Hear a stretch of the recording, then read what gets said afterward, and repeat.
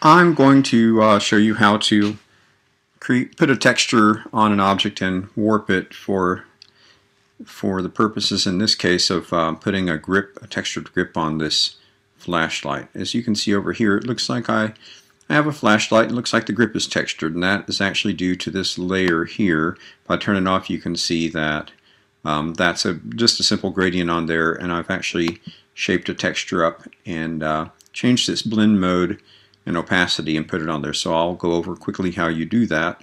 So let's turn off this layer. And to begin with, um, I do have two, two windows of the same object here. This one's in outline, obviously, and this one is not. This one's in preview. So I begin by making a copy of the layer where I have the gradient, which is named grip in this case. So I'll just create a duplicate of that. And you can see it here.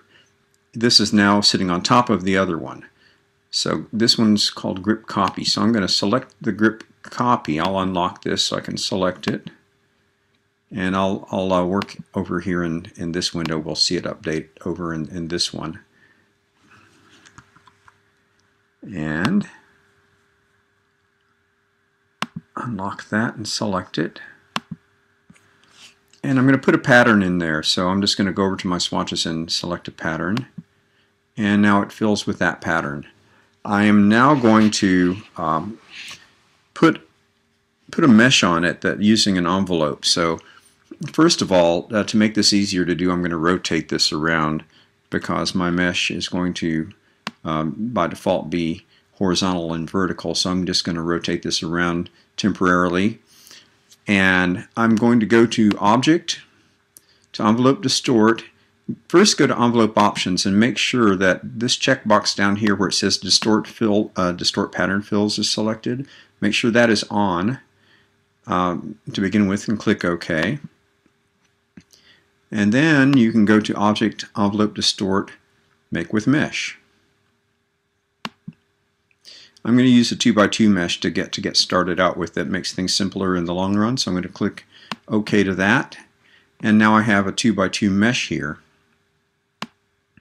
And before I shape it, I'm going to actually go ahead and put this in in outline uh, mode so that it'll be easier to, to see what I'm doing with my mesh. And so uh, to do that, I'm just going to command click, that'd be control clicking on a PC, here where it says grip copy, and change that to uh, so that I can see what I'm doing a bit better here.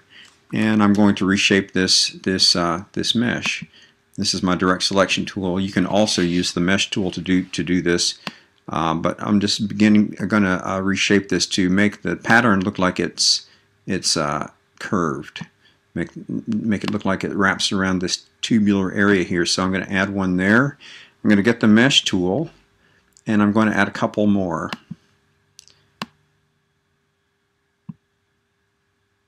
So you can manip manipulate the handles with either the um, direct selection tool or the mesh tool. I usually do use the uh, direct selection tool because that way if I misclick I don't add another row or column accidentally.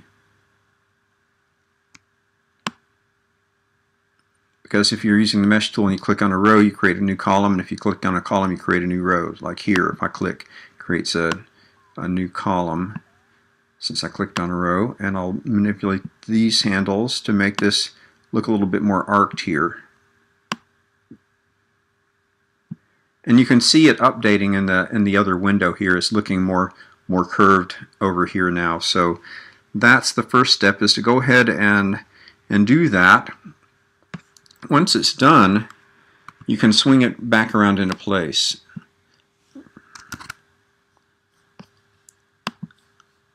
So I'm going to uh, get the rotate tool here. Let's spin, whoops,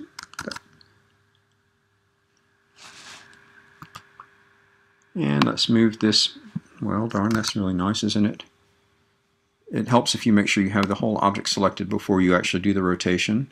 It's always a good thing. Let's rotate this back around and, and put it uh, back and nudge it back into place.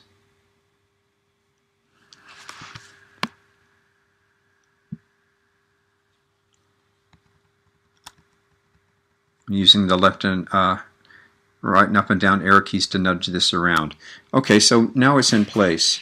Um, over here, I'm gonna I'm gonna click in this view, and I'm gonna do Command H just just to hide my to hide my view of my grid and everything. And it's in place, but but it's opaque at this point, and so we don't want to leave it opaque. So I'm going to go over here to my uh, transparency palette, and I'm going to uh, change the blend mode first of all. If I change it to overlay, uh, you can see that it makes it uh, so that you can see through it. And if you like, you can also come over and change your opacity if you want to uh, make that a little more translucent. And that's it.